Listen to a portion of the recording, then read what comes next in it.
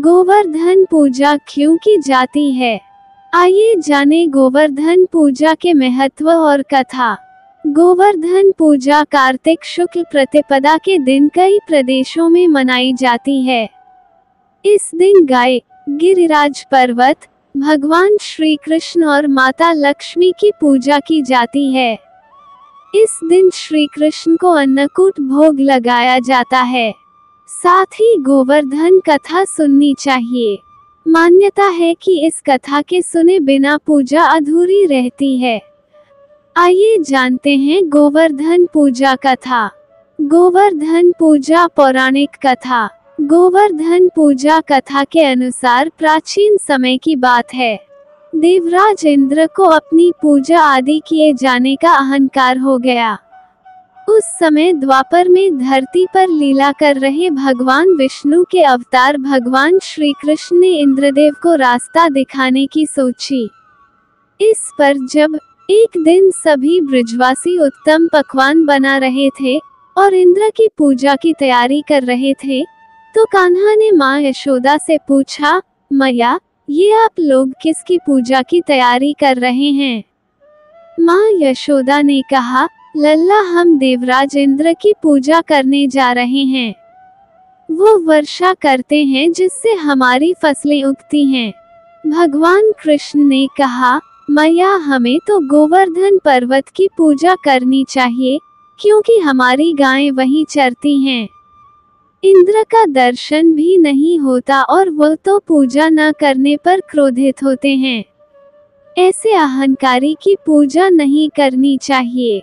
कृष्ण की इस सलाह पर सभी ब्रिजवासी इंद्र की पूजा के बजाय गोवर्धन पर्वत की पूजा की। इंद्र ने इसे अपना अपमान समझा और कुपित होकर मूसलधार वर्षा शुरू कर दी। इस बारिश ने सभी ब्रिजवासियों को भयभीत कर दिया और उन्होंने भगवान कृष्ण को दोषी ठहराना शुरू कर दिया और बचाने के लिए उन्हें ही कुछ करने के लिए कहने लगे।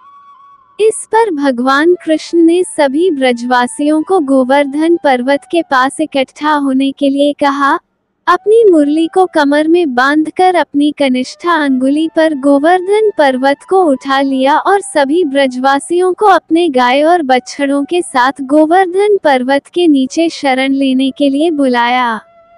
इस पर इंद्र का क्रोध और बढ़ गया और उन्होंने बारिश की तीव्रता को और भी बढ़ा दिया।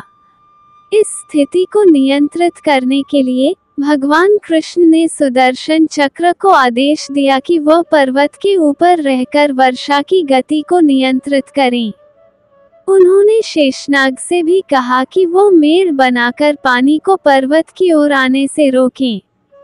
इस प्रकार भगवान कृष्ण ने अपने भक्तों की रक्षा की गोवर्धन पूजा कथा के अनुसार प्राचीन समय की बात है देवराज इंद्र को अपनी पूजा आदि किए जाने का अहंकार हो गया।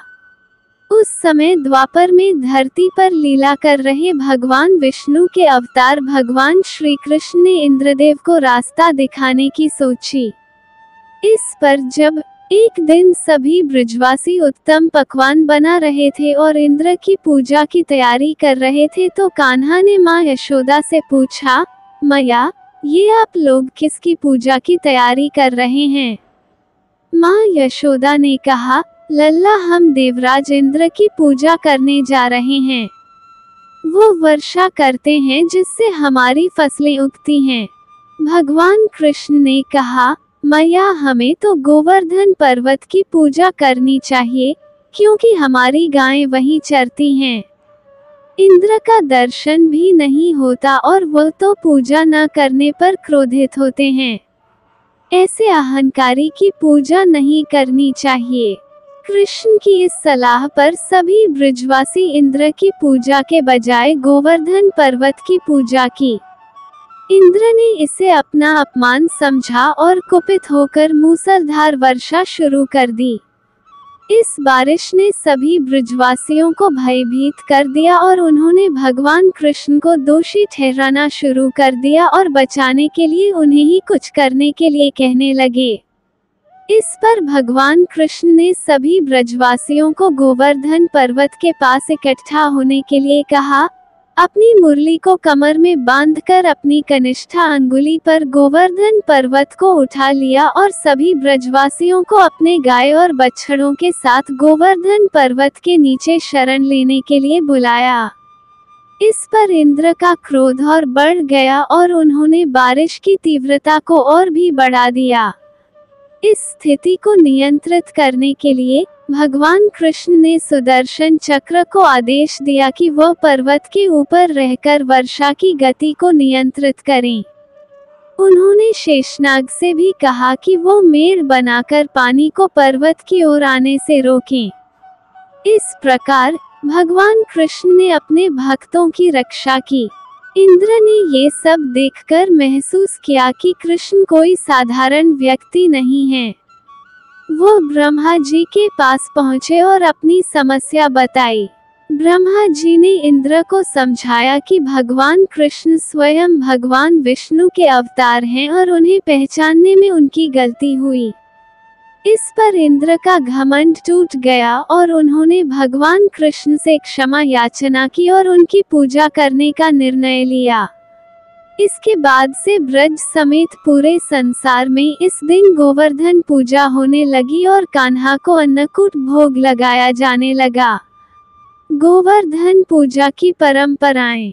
इस पौराणिक घटना के बाद से गोवर्धन पूजा का आयोजन किया जाने लगा।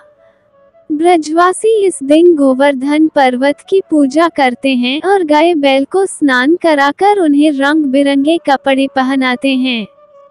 उन्हें गुड़ और चावल देकर विशेष रूप से सम्मानित करते हैं। धार्मिक महत्व, गोवर्धन पूजा के दिन भक्तगण गोबर, मिट्टी या आटे से गोवर्धन पर्वत का प्रतीक अपने घरों में बनाते हैं और उसकी पूजा करते हैं। इस पूजा के माध्यम से भक्त अपने पापों का प्रायश्चित करते हैं और भगवान कृष्ण से कृपा प्राप्त करने की प्रार्थना करते हैं। इस दिन किए गए अन्नकूट भोग का विशेष महत्व है। विभिन्न प्रकार के भोग जैसे कि रोटी, चावल, दही और मौसमी फल कान्हा को अर्पित किए जाते हैं।